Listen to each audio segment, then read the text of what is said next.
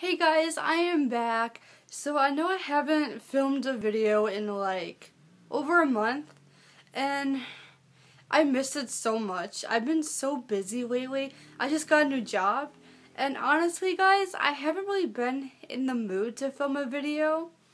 But I'm back now. And today I wanted to do something a little different.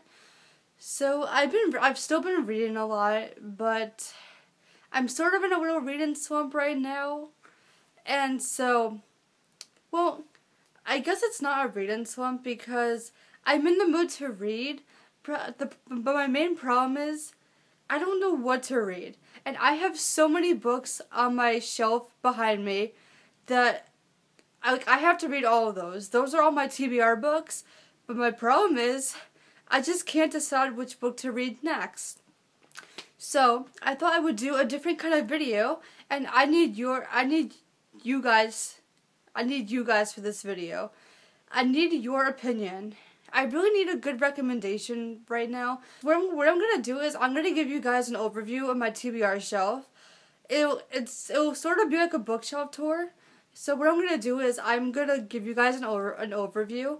I'm gonna show you guys all the books that I have yet to read, and then if you guys can, I would love it if you guys left a comment telling me if you read a certain book and which one I should read now, or just if you guys just loved a book and you would recommend me to read it right away. That would be amazing because I don't know. I really want your opinion because, like I said before, I, I, I have no idea what I'm in the mood what I'm in the mood to read, and I just oh I hate not reading, and so yeah. So yeah, if you guys can, please recommend a book for me if you guys have read any of these books that I'm about to show you. So yes, so yeah, here's my here's my sort of um, TBR bookshelf tour. Okay guys, so this is my TBR shelf. So these are all the books that I haven't read yet, and so if you guys have read any of these books, please comment below and tell me which one you would recommend for me to read because I have no idea what to read next. So I'm going to try to make this video fast and I'm going to, let's just start at the top shelf. So first we have Beautiful Day by Elin Hilderbrand, On Dublin Street by Samantha Young, The Edge of Never by J. A. Redmerski, Wait for You by J. Lynn or Jennifer Armentrout, Thoughtless and Effortless by S.C. Stephens, Ink by Amanda Sun, The Espressologist by Kristina Springer, uh, Beach Lane by Melissa de la Cruz, Hollywood Hills by Aimee Friedman. This is the third book in a trilogy. I read the first two books years ago. The Phil Boyfriend by Kasie West. The Dating Game by Natalie Standiford. The Truth About Us by Janet Gurtler. So Much Closer by Susane Colasanti. No Place to Fall by Things I Can't Forget and Racing Savannah by Miranda Kenneally. If I Stay by Gayle Forman. Grim by edited, edited by Christine Johnson. Firelight by Sophie Jordan. Fire and Flood by Victoria Scott. Sweet Evil by Wendy Higgins, Beastly by Alex Flinn, Torn and Ascend by Amanda Hocking, Uglies by, Uglies by Scott Westerfeld, Wicked by Gregory Maguire.